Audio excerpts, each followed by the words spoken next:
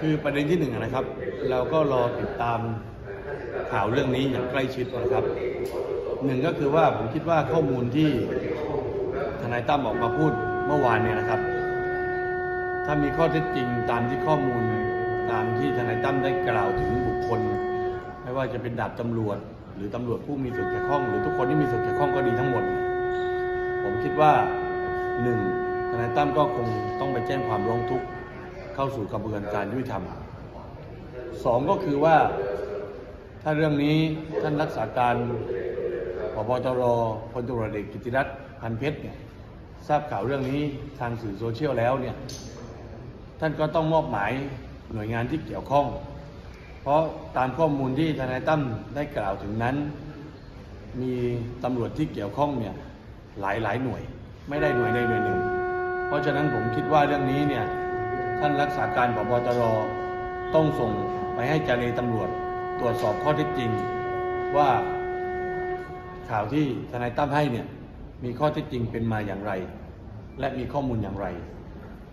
สามก็คือว่าทนายตั้มสามารถร้องทุกข์ไปยังคณะกรรมการที่นายยมตรีแต่งตั้ง โดยมีท่านชัดชัยพรมเลิศเป็นประธานอยู่ และมีพลตำรวจเอกวินัยทองสอง ซึ่งมีระยะเวลา 60 วันในการทำงานเนี่ยก็ร้องไปยังคณะกรรมการชุดนี้ก็ได้ เพราะว่าคณะกรรมการชุดนี้ก็มีกรอบอำนาจหน้าที่ที่จะตรวจสอบข้อเท็จจริงในเรื่องที่เป็นข่าวอยู่นะครับ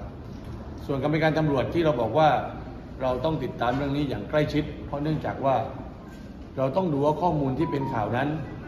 มีข้อเท็จจริงอย่างไร และหน่วยงานที่เกี่ยวข้องได้ดำเนินการแค่ไหน สังคมยังสงสัยอีกหรือไม่ ถ้าสังคมสงสัย เราก็จะเชิญผู้เกี่ยวข้องเข้ามา แต่ถ้าทั้งหมดนี้ที่เป็นข่าวอยู่ทั้งหมด มีการแจ้งความร้องทุกข์แล้ว เข้าสู่กระบวนการยุติธรรมแล้ว มีการเปิดเผยหลักฐานที่แท้จริง มีการแจ้งข้อหาข้อกล่าวหาแล้วก็ไม่การตำรวจก็เพียงแต่ติดตาม อย่างใกล้ชิดครับนายกรัฐมนตรีในฐานะคนที่กำกับดูแลมีอะไรอยากจะฝากท่านไหมครับ ผมก็ในฐานะที่ท่าน เป็นผู้บังคับบัญชา และกำกับดูแลสำนักงานตำรวจแห่งชาติ ท่านต้องแก้ไขปัญหาเรื่องนี้อย่างเร่งด่วน และท่านต้องหาความจริงเรื่องนี้ให้เร็วที่สุด สิ่งที่เสียหายที่เกิดขึ้นถ้าต่างฝ่ายต่างมาพูด สิ่งที่เสียหายที่สุดคือองค์กรครับความน่าเชื่อถือองค์กรนี่เป็นสิ่งที่น่าเสียหายที่สุด ผมคิดว่า